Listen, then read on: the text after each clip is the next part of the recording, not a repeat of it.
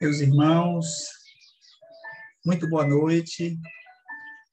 É com muita alegria que nós estamos mais uma vez aqui reunidos para mais um encontro doutrinário.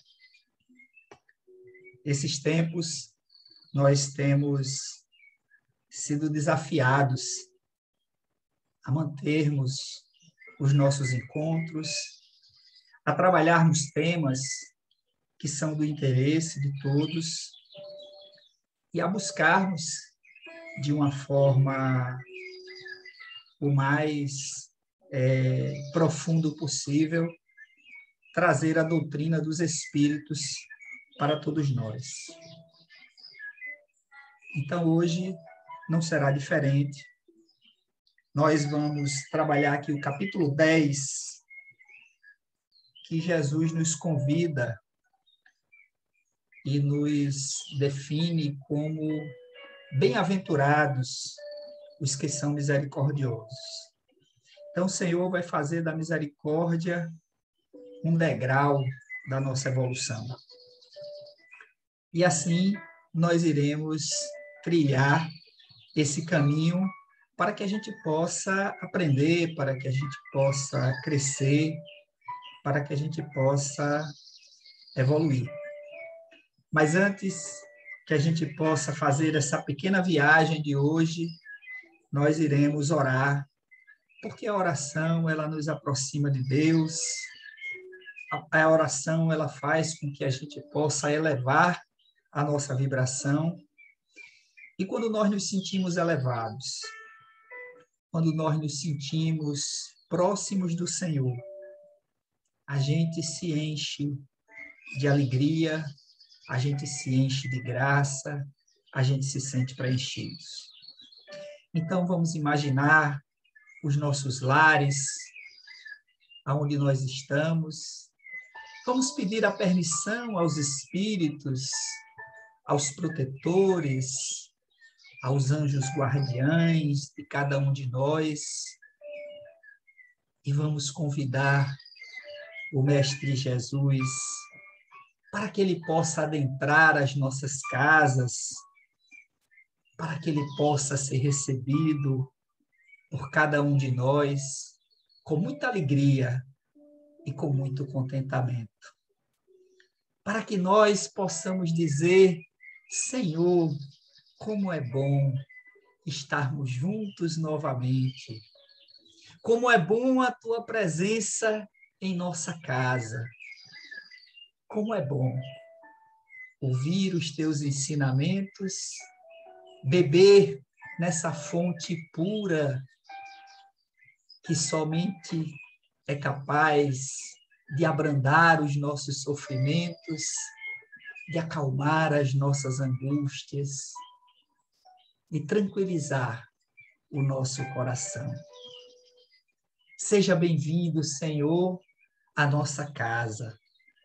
Seja bem-vindo ao nosso coração aflito, necessitado, que busca por todos os caminhos, por todos os lugares, te encontrar, sentir a tua presença entre nós é motivo de grande alegria e de grande contentamento.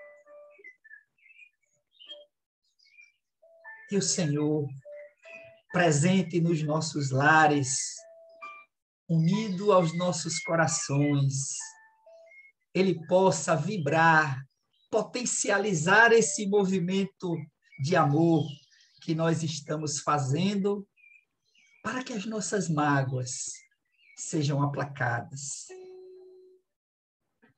para que as nossas feridas sejam tratadas para que aquelas lembranças tão doídas elas possam receber o alívio como um sopro de amor,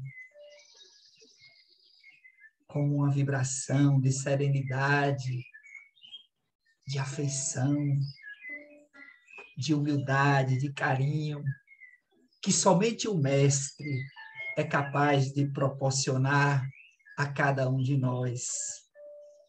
Entreguemos ao Senhor o nosso sofrimento.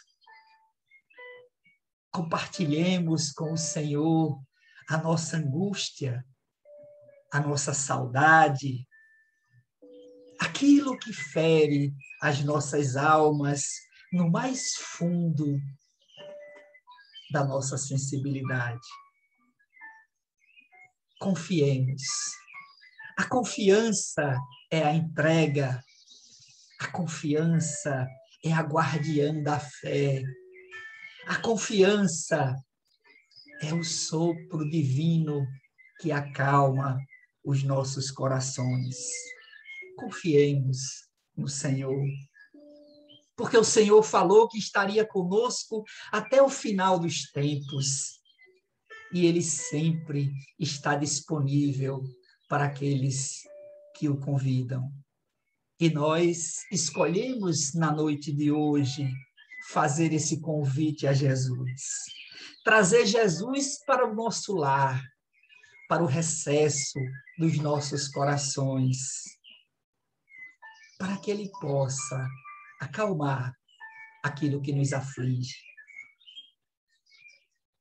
para que ele possa mitigar a nossa fome e a nossa sede de esperança no amanhã.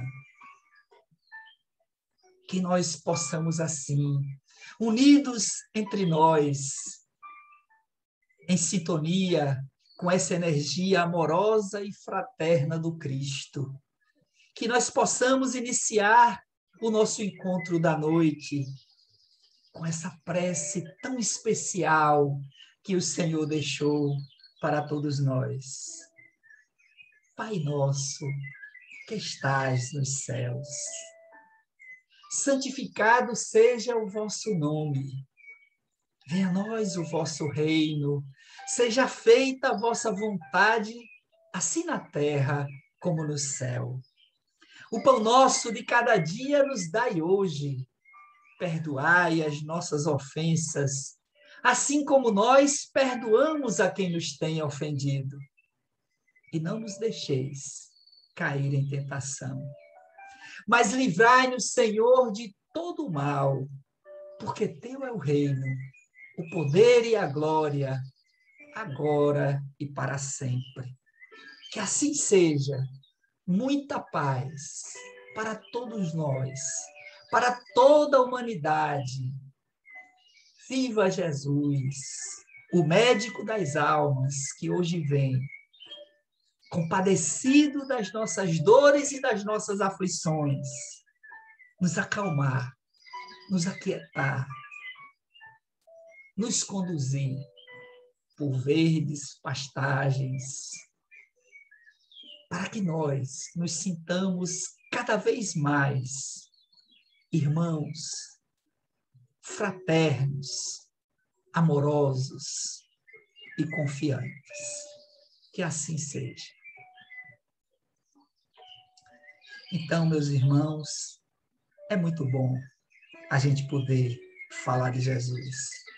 É maravilhoso quando nós potencializamos essa energia e essa energia ela nos ensina, ela nos alimenta, ela ilumina os nossos caminhos. E somente o Senhor para nos ajudar nesse momento.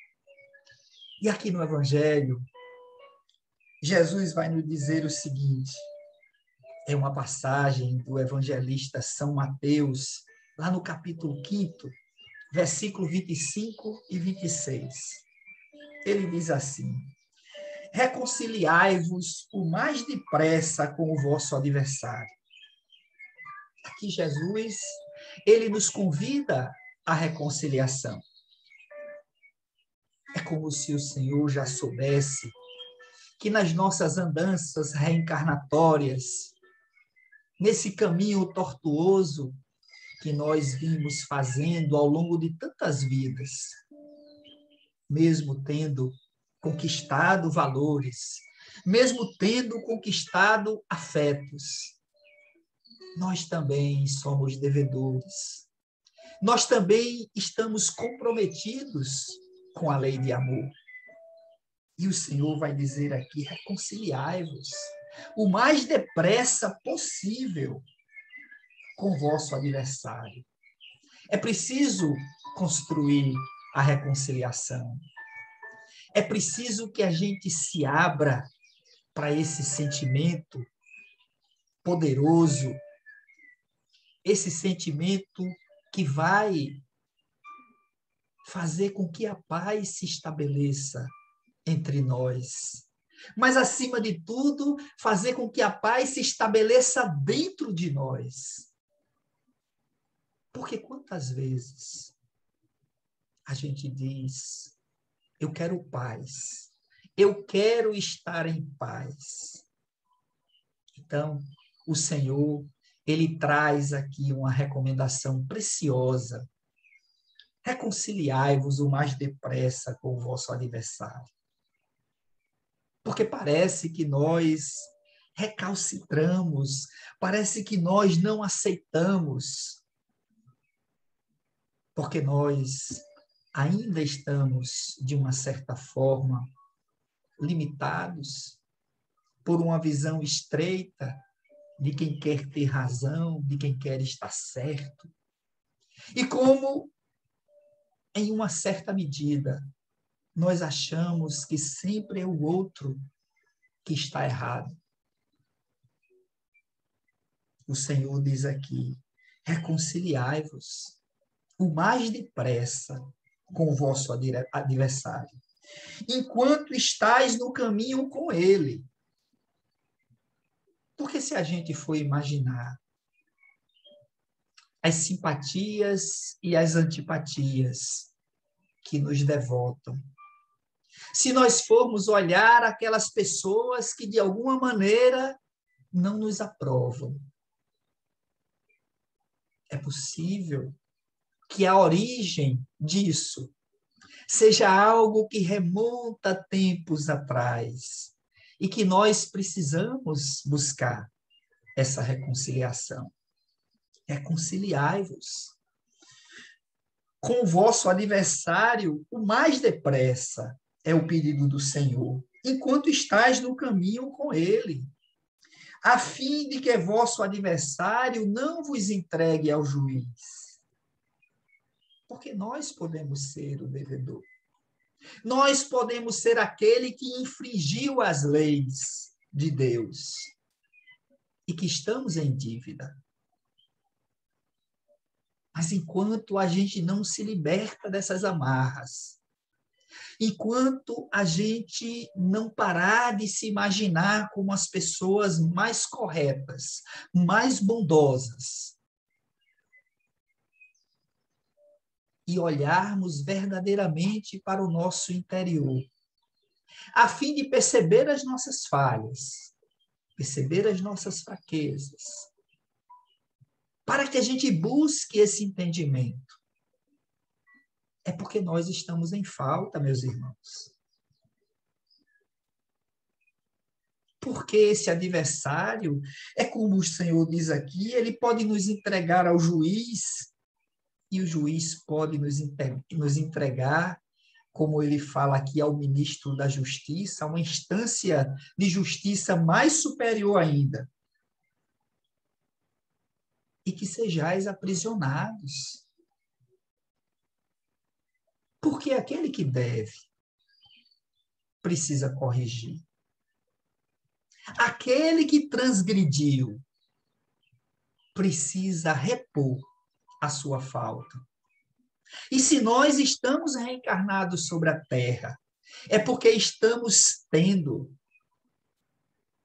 uma grande oportunidade de fazermos esse movimento. Algumas pessoas podem perguntar, mas Fernando, como é que a gente pode fazer isso? Vamos observar as leis de Deus o que, o que é que Jesus nos ensina? O Senhor vai dizer que amar a Deus sobre todas as coisas é a primeira e a mais importante de todas as leis. Mas ele vai falar de uma segunda que é semelhante à primeira: amar ao próximo como a si mesmo. Então o Senhor faz da lei de amor o movimento seguro para que o espírito encarnado ele possa buscar a reconciliação. Então nós precisamos encontrar esse mecanismo do amor, mas acima de tudo, o mecanismo do amar. Nós somos convidados pelo Senhor ao amor. A gente pode dizer que essa reconciliação com os adversários que Jesus propõe, ela vai acontecer através do exercício da lei de amor.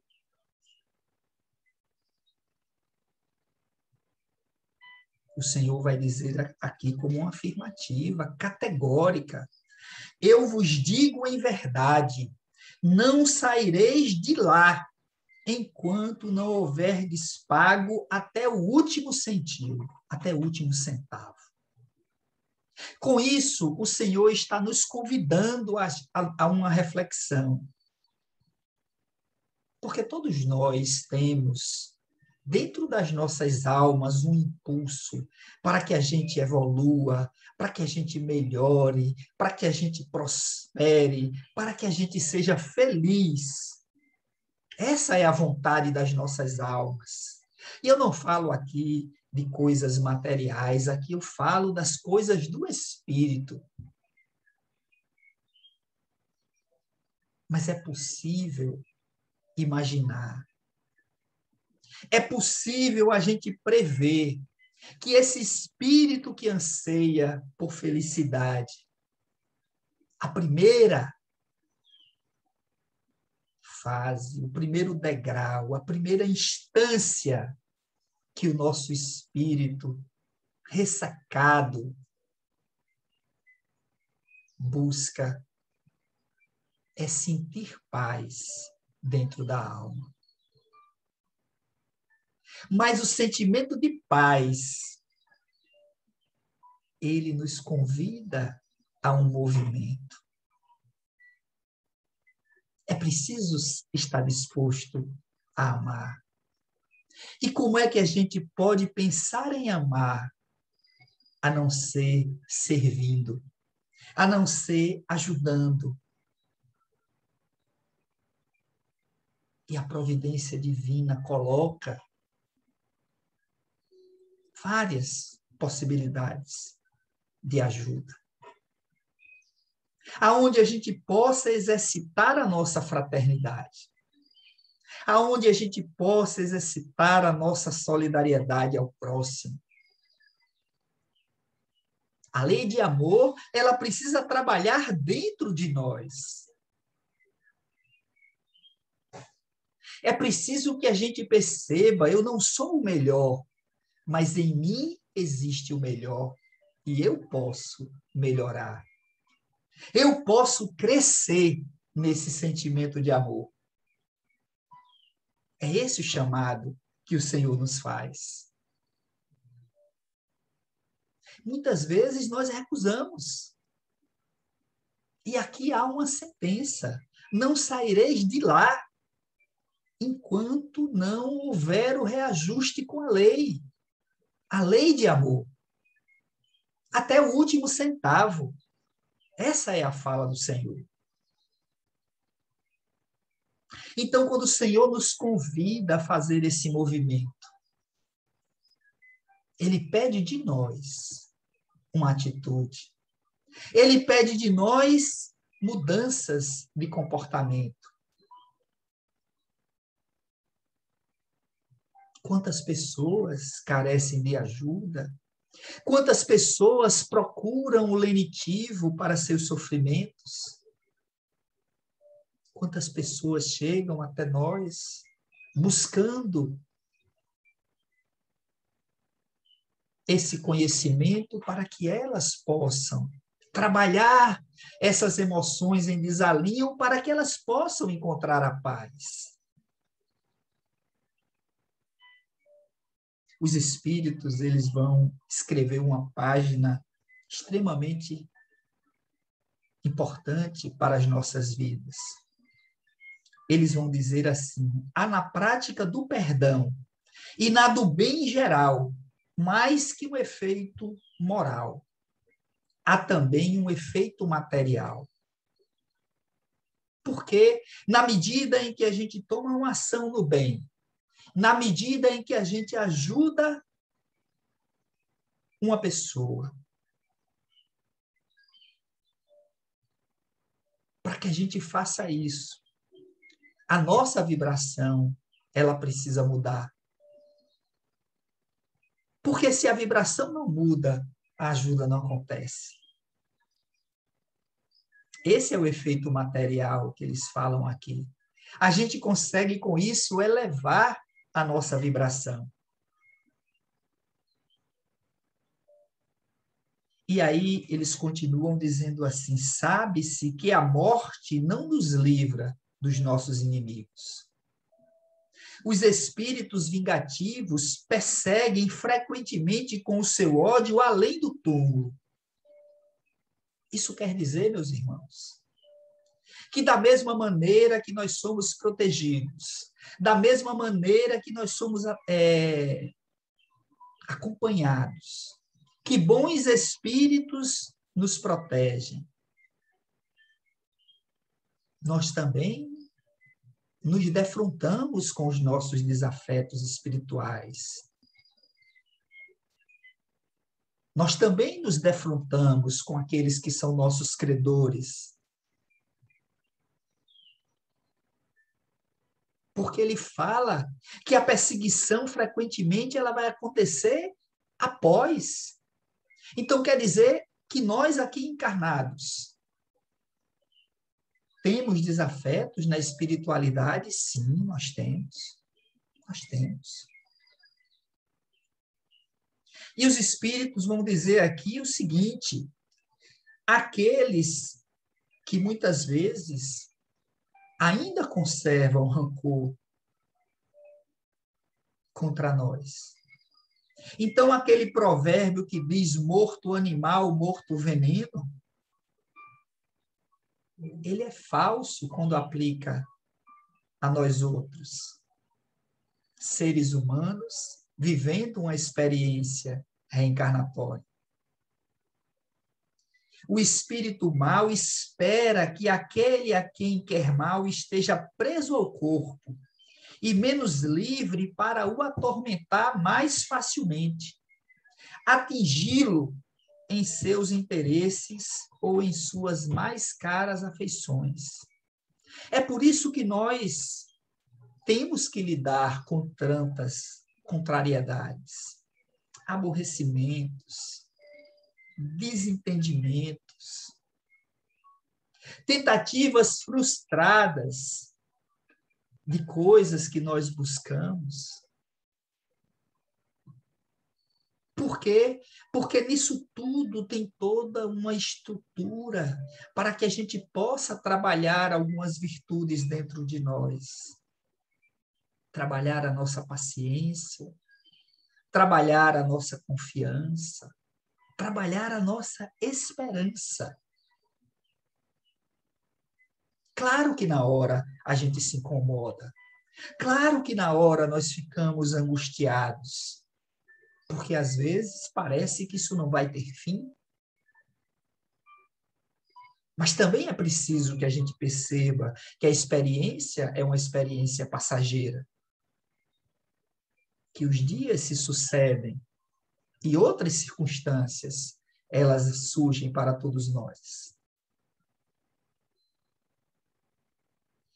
E eles vão dizer que a gente precisa ver que nesse fato está a causa da maior parte das obsessões, daquelas, sobretudo, que apresentam uma gravidade mais alta, como a subjugação e a possessão espiritual. É como se nós, mesmo estando levando uma vida diferente, permanecer, permanecêssemos em conflito, permanecêssemos em contenda, sendo atacado espiritualmente. E precisamos fazer esse movimento da reconciliação, que é o antídoto que Jesus oferece, reconciliai-vos com os vossos adversários. Aí ele vai dizer que o obsidiado e o possesso, quer dizer, aqueles que estão sob ataque espiritual, são quase sempre vítima de uma vingança anterior.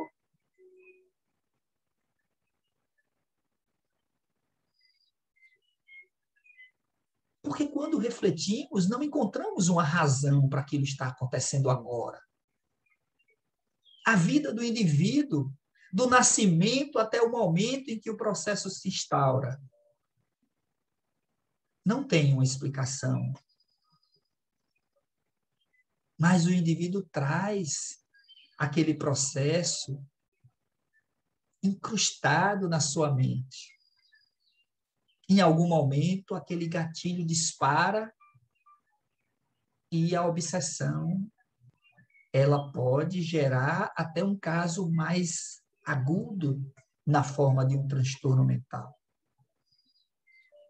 Então, o obsidiado e o possesso quase sempre são vítimas de uma vingança anterior, a qual provavelmente deram lugar pela sua conduta.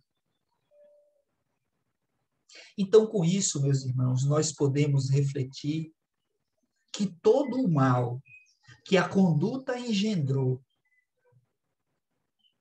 através dos equívocos cometidos, pode ser atenuado, pode ser reduzido, através de uma nova conduta, pautada no bem, pautada no amor e na caridade.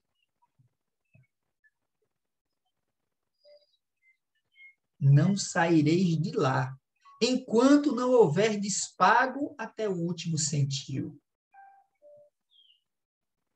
Então, estaremos na roda das reencarnações até que esse processo seja depurado, até que essa reconciliação seja conquistada.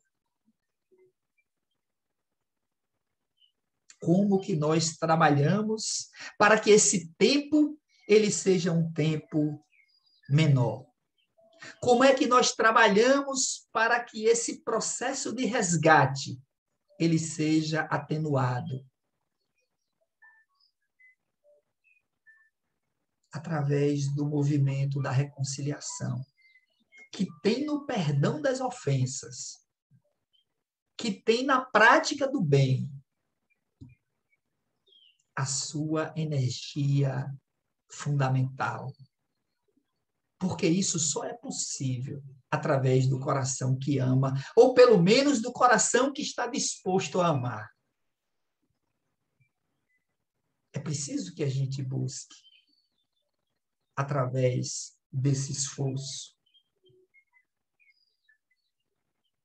Aí ele diz aqui o seguinte: que Deus o permite, porque nós erramos é uma forma de ser corrigido aquele equívoco. Porque senão esse espírito empedernido que nós ainda somos continuará a fazer as mesmas coisas.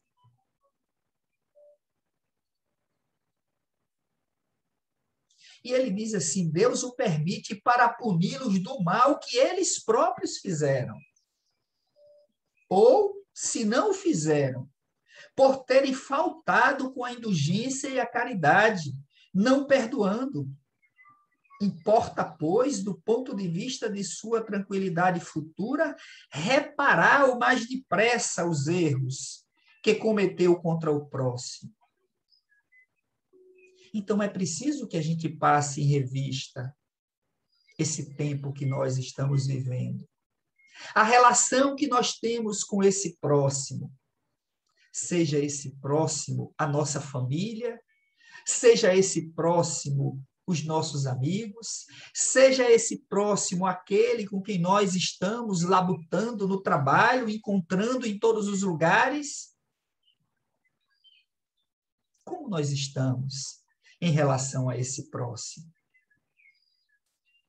Aqui o espírito que somos nós precisa refletir. Aqui o espírito que somos nós precisa buscar. Porque somente essa compreensão abrirá essas portas para que a gente entenda. Porque o entendimento, ele é o resultado de uma reflexão.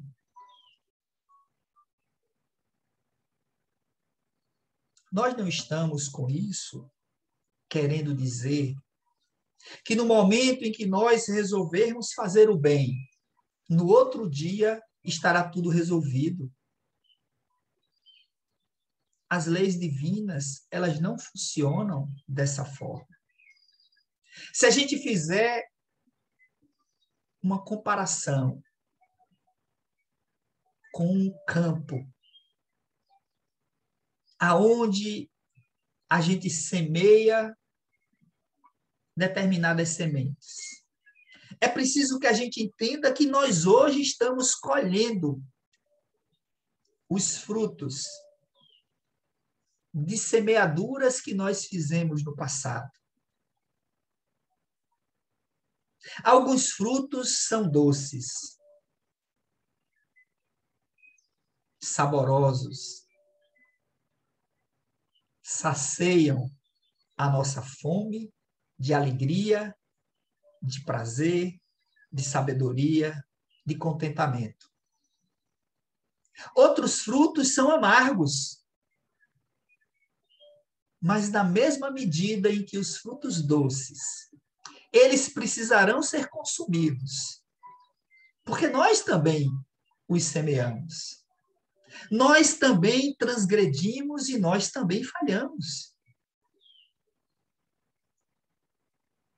E sentir o gosto amargo. Perceber que trava dentro da gente e que nos dá aquele mal-estar que parece que não vai ter fim. Faz parte dessa colheita.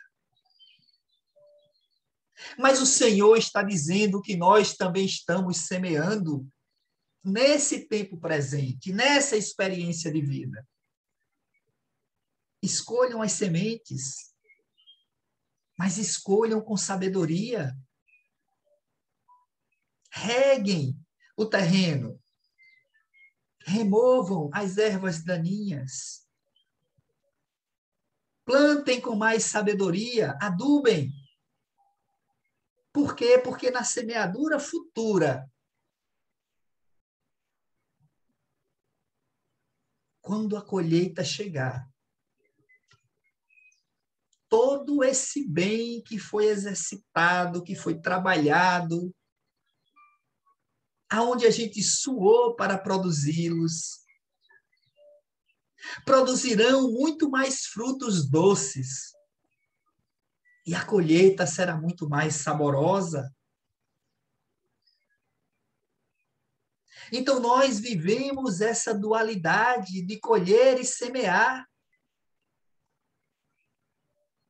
E como os frutos são diversos, algumas semeaduras nós vamos colher nessa própria existência, mas outras não é possível. Outras só serão colhidas em outro tempo mais à frente. Mas o Senhor, ele nos convida à reconciliação. Porque a reconciliação é esse movimento do espírito que diz para si mesmo: eu quero um novo caminho. Eu vou buscar um novo caminho. Eu quero aprender. Eu quero mudar. É isso que Jesus nos convida. É esse o entendimento dos ensinamentos, desse jugo suave e desse fardo leve que o Senhor fala que a gente pode pegar a nossa cruz e segui-lo.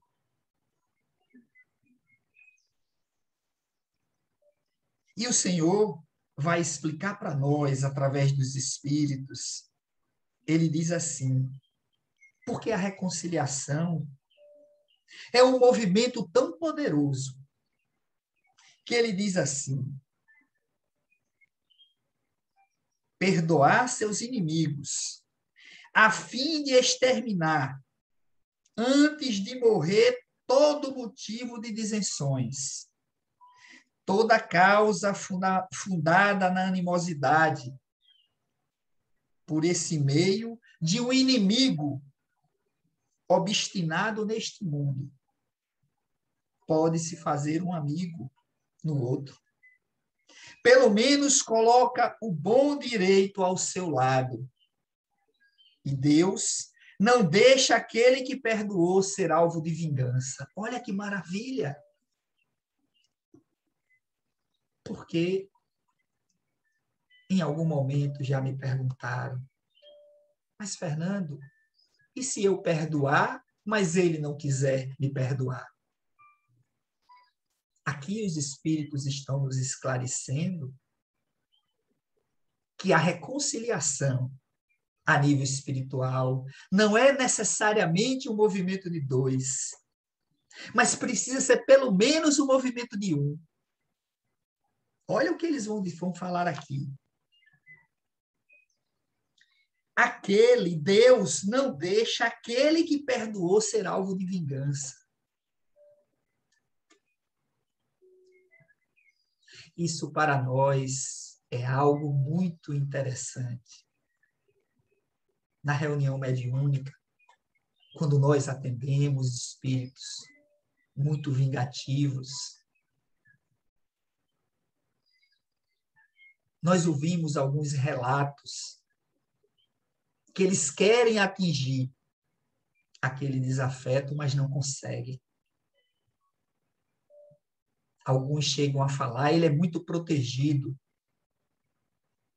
Mas como existe a vingança e ainda não foi feita a reconciliação nem o perdão, eles conseguem atingir alguém que é muito caro àquela pessoa. E o processo se instala de qualquer forma. Já houve casos em que aquela entidade espiritual muito vingativa chegar a dizer: Eu fico procurando, mas eu não acho, eu não consigo enxergar. Eu não sei aonde ele está. Aí a gente entende isso porque Deus não permite que aquele que perdoou seja alvo de vingança, porque no momento em que o indivíduo perdoa, esse movimento o coloca em uma faixa vibratória um pouco acima desse desafeto, e aí ele não consegue ver. Mesmo o indivíduo estando encarnado, ele não consegue ver, ele fica em uma dimensão em que ele não enxerga o seu desafeto ele envia dardos, ele envia pensamentos, ele transmite toda a sua raiva, todo o seu ódio, todo o seu desejo de vingança. Mas isso não é suficiente para atingir aquele que perdoou. Então, é preciso que a gente esteja aberto a esse movimento essa reconciliação com os adversários, ela significa, às vezes, perdoar um pai, perdoar uma mãe, perdoar um irmão,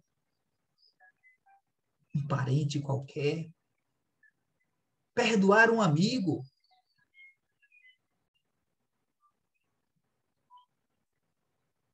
É preciso que em algum momento a gente abra os nossos corações para que a gente diga: Senhor, eu perdoo. Ou talvez o mais difícil, que a gente possa pedir perdão. Porque pode ser que o erro não esteja nessa experiência da agora,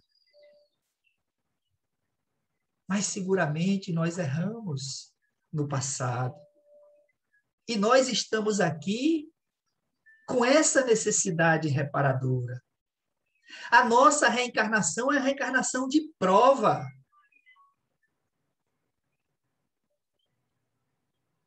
Nós vivemos reencarnações provacionais. Claro que a terra começa a transitar da prova e expiação para a regeneração. Mas nós somos filhos das provas e das expiações. A nossa geração é uma geração que muito errou e que muito precisa amar. Pelo menos fazer um esforço nessa direção.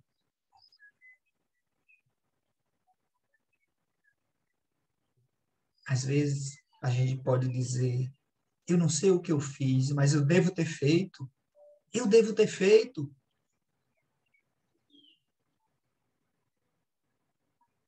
Tem um ditado que, que eu falava em um certo tempo.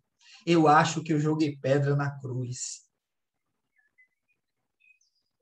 Meus irmãos, não, não vamos duvidar, nós jogamos mesmo.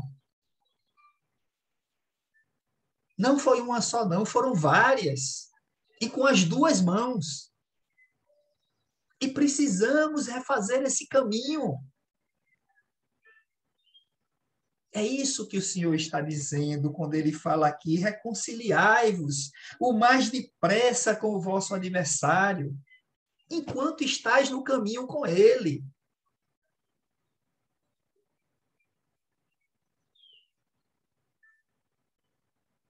Então, nós estamos aí, nesse cai, levanta, tropeça. Mas é preciso que a gente tenha esse entendimento que o amor, ele precisa trabalhar. Quando a doutrina espírita traz a questão da caridade e diz que fora da caridade não há salvação, o indivíduo não evolui sem a caridade. A caridade é o amor trabalhando operando, fazendo. Não é ficando em casa.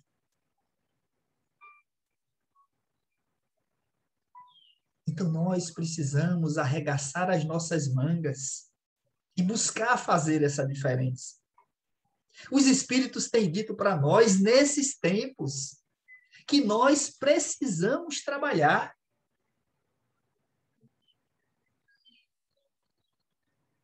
Então, esse exercício no bem, ele precisa ser fruto de um trabalho. E o trabalho, ele tem um suor, ele tem um esforço, ele tem um movimento. Deus não deixa aquele que perdoou ser alvo de vingança.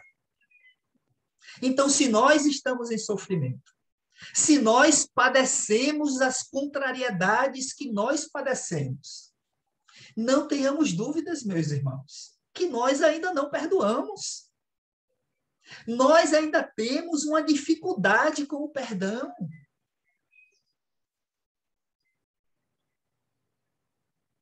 Existe uma fala muito interessante em que o filósofo diz assim: quando alguém diz algo conosco, seja o que for, nós, se olharmos bem, não temos com que nos ofender. Se for verdade, nós não temos que ficar zangado porque é verdade.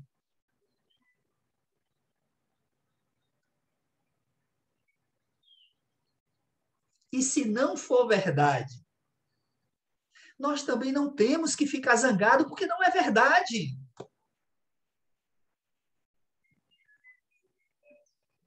Mas a questão é por que, que nós nos contrariamos tanto? Por que, que nós partimos para o revide? Como se a lei de Italião ainda fosse a lei necessária.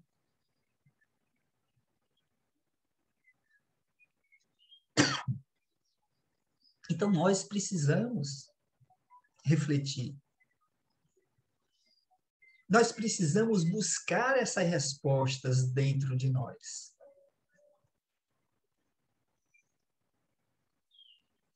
Quando Jesus recomenda reconciliar-se o mais depressa com o adversário, não é somente com vistas a apaziguar as discórdias durante a existência atual. Porque o Senhor, ele não fala para uma vida. Ele fala para o espírito imortal que nós somos. Então, ele fala para a existência espiritual desde a criação. Mas evitar que elas se perpetuem na existência futura. Olha que fala.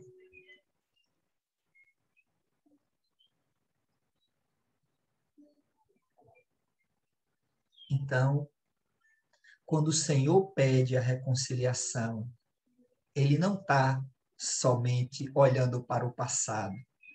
Ele olha para o futuro. Nós não falamos aqui que nós temos como primeiro degrau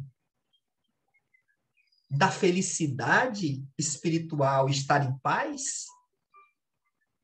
Se nós temos desafetos a reconciliar, nós ainda não estamos em paz. E quando nós não estamos em paz, é difícil dormir, é difícil ficar feliz, é difícil desfrutar os momentos, porque parece que fica uma coisa incomodando por dentro. A gente vai para os lugares querendo que acabe aquilo. A gente não está satisfeito em lugar algum. Esse incômodo dentro da alma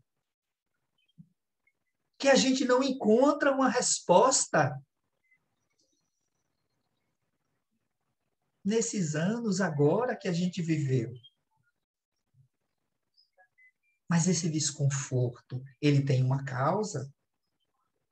E como a doutrina nos ensina, que se não é uma causa atual, é uma causa passada. Então nós precisamos mergulhar nesse nosso interior, para que a gente entre em contato com esses questionamentos, para que a gente possa refletir como melhorar. Por que, que nós temos essa insatisfação permanente? Por que, que nós não conseguimos estar plenamente felizes? Porque não estamos em paz. Porque recebemos essas energias desses desafetos encarnados e desencarnados.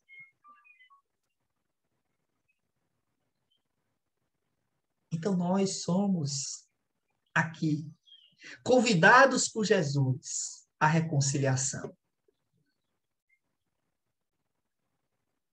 Isso não quer dizer que a gente vai concordar com tudo, mas é possível discordar sem sentir raiva? É possível não aprovar e ao mesmo tempo se sentir bem?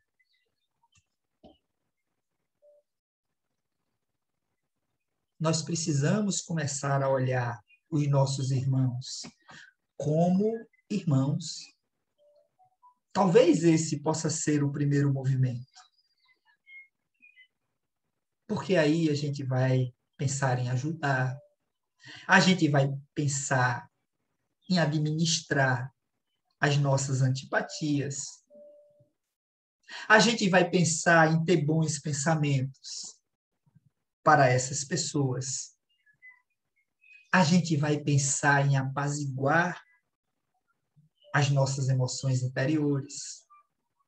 E esse movimento do espírito ele pode ser recompensado com a reconciliação.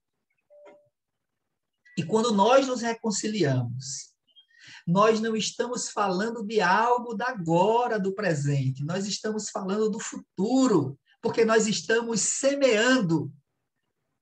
E a semeadura precisa ter o tempo da colheita. Os frutos, eles não são imediatos. Mas aqui o Senhor nos convida à confiança, aquela confiança que nós falamos. Então, meus irmãos, a mensagem de hoje, ela traz a reconciliação. Ela traz essa busca da paz, que começa com a paz interior. Ela traz essa busca da felicidade espiritual, que começa com um sentimento de paz, de não dever, de fazer tudo que é possível para que o outro possa se sentir bem. É isso que Jesus nos convoca. Essa é a mensagem da noite. E nós iremos agora fazer a nossa oração. Eu agradeço muito a todas as pessoas que acompanharam essa transmissão. Vamos refletir, vamos levar isso para o nosso dia a dia. Vamos tornar Jesus uma presença permanente nas nossas vidas. E a forma, meus irmãos, mais significativa de fazermos isso é através da oração. Vamos orar uns pelos outros. Vamos orar por todos, pela humanidade. Vamos fechar os nossos olhos e vamos nos imaginar de joelhos, com os olhos elevados, e vamos, e vamos dizer assim: Jesus, eu aceito a tua proposta. Jesus, eu aceito te seguir, eu aceito me despir da vaidade, da intolerância, da arrogância, do orgulho e do egoísmo. Eu quero, Senhor, a simplicidade na minha vida. Eu quero buscar a igualdade, não a igualdade material, mas a igualdade de espírito, de sentir que o outro, independentemente de quem ele seja, ele também seja assistido em suas necessidades. Me ajuda, Senhor, a trilhar contigo. Me ajuda a me manter próximo dos teus ensinamentos. Me ajuda quando a minha fé fraquejar. Me dá esperança para que eu possa sempre ter vontade de seguir. Preenche o meu coração de entusiasmo, para que eu consiga ter felicidade nas pequenas coisas nas pequenas alegrias, nos pequenos prazeres. Nesse tempo que nós tivemos aqui na noite de hoje, tão especial nas nossas vidas. Esteja conosco, Senhor. Caminha conosco, nos conforta, nos estimula brinca com as nossas celebrações, se alegra com os momentos de alegria que nós pudermos proporcionar. Que nós nos percebamos como uma família espiritual, que as nossas energias elas possam ser compartilhadas entre todos nós, irmãos em Cristo e que todos nós possamos, em todos os momentos das nossas vidas, ir para um lugar mais reservado, fechar os nossos olhos, pensar em Jesus. O que é que eu faço, Senhor? O que é que tu farias se estivesse em meu lugar? que é que eu preciso fazer para te servir? Para servir as criaturas, como tu dissestes. Que quando nós fazemos por um daqueles irmãos mais pequenos, é a tu que nós fazemos. É essa busca, Senhor, que nós queremos. Essa esperança que precisa vibrar nas nossas almas que nós possamos assim, agradecidos por esses breves momentos em que estivemos juntos, recompensados com a imensa alegria de tudo que aqui nós aprendemos na noite de hoje. Que a gente possa assim encerrar essa nossa reunião doutrinária com a prece magistral que o Mestre Jesus deixou para nós. Pai nosso que estais nos céus, santificado seja o vosso nome. Venha a nós ao vosso reino. Seja feita a vossa vontade, assim na terra como no céu. O pão nosso de cada dia nos dai hoje. Perdoai as nossas ofensas, assim como nós perdoamos a quem nos tem ofendido.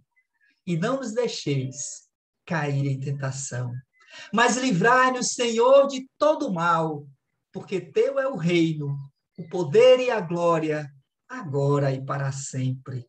Que assim seja. Muita paz e viva Jesus. Amém. Meus irmãos, foi muito bom nós estarmos juntos na noite de hoje. Muito, muita alegria nós estarmos juntos. E nós agradecemos por essa oportunidade. Convidamos vocês, convidem outras pessoas. Vamos ampliar essa rede fraterna para que esse canal ele seja um instrumento de amor a serviço do bem. Que Jesus nos abençoe, nos ampare, que todos tenham uma ótima semana e que nós possamos estar juntos em outro momento, se essa for a vontade de Deus e Ele há de querer. Um beijo grande no coração, muita paz, viva Jesus! Deus no comando e até a próxima.